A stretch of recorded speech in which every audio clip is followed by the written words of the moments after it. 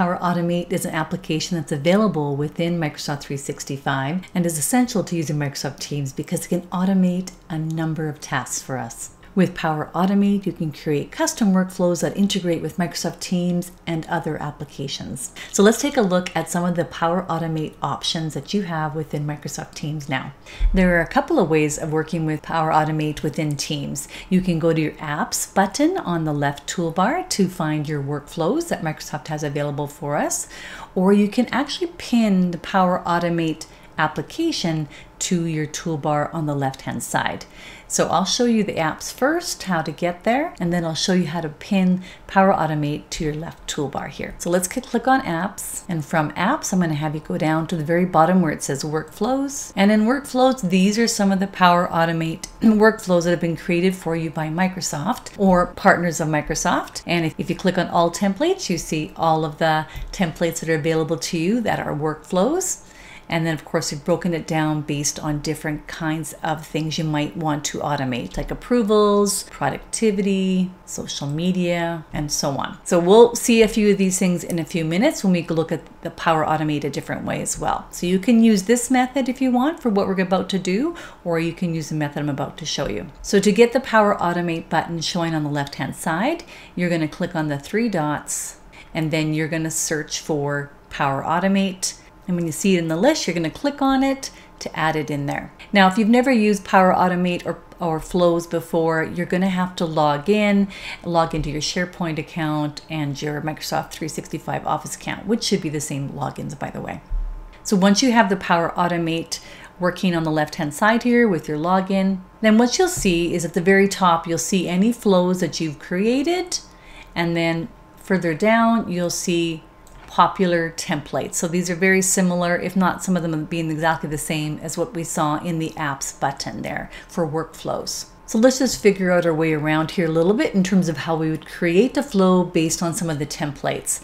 So I'm going to go to the very bottom where it says see all teams templates. So what Microsoft starts us with is the popular templates that we can create, like how to follow up on a message, creating a task in Planner from uh, something that's been posted in Teams or from forms started approval when a new file is added. I've moved on to top picks and I just want to show you a couple of things in here that could be of help to us. You have an option to save a message to OneNote. So again, if someone is posting something within the Teams channel and you're thinking, oh, we should add that to our OneNote notebook uh, page, then you can have just one click for you to be able to do that rather than having to copy and paste it somewhere or link it in somewhere.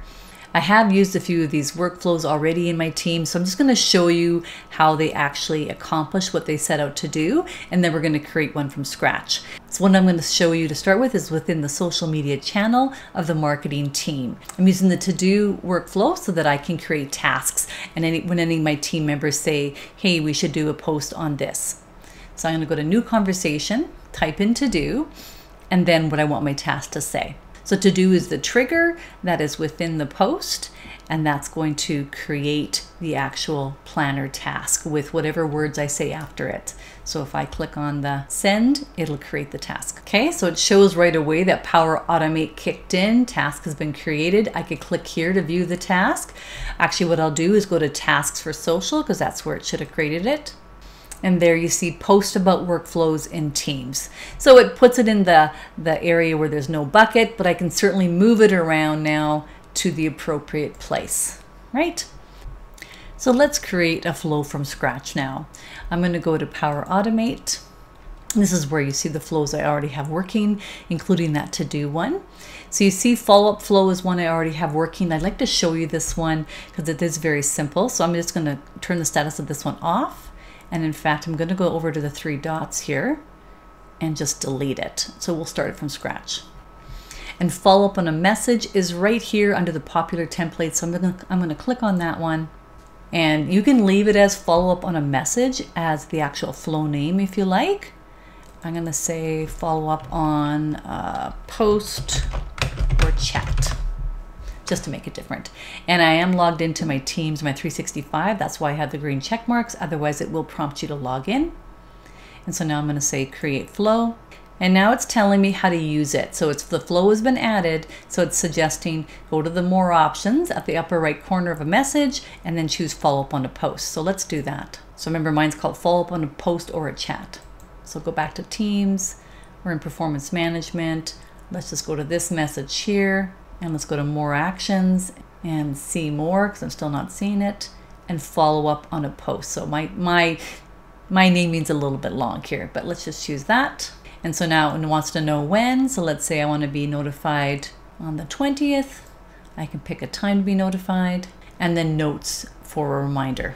So it's actually going to highlight that particular post on this date. It's going to give me a pop-up in Teams and it's going to highlight that post so I see it as my reminder. Okay, and that's how easy that follow-up one is. Now, another popular automation that you might want to have is the one that says when a new file is added, notify me. So you can have it notify you by email or you could have it notify you within the team. If it's within the team, then everybody gets notified. And so here is an example of it working within my human resources team in the general channel. When a file is added, so it says a new file was added, um, I get all of these notifications and it also lets you go to that file really quickly to take a look at it. And that's all it's doing is just telling you, hey, a file's been added. It's not asking you to approve it or anything. It's just saying that this has happened. So that's one of those ones that we can quickly automate and create for ourselves. So that's happening within the human resources uh, team. That is not happening necessarily in any other team. Whereas that follow-up workflow that we just did is really available to us everywhere. So some of them are universal throughout teams and some of them are based on the team team in the channel. Okay, let's do a workflow from scratch where it affects the recruiting channel of our human resources team. And so let's say that when we add a file in here, we want to use that approvals workflow so that it actually prompts for that approval and it also makes a message in the post. Okay, so I started by going to Power Automate on the left hand side.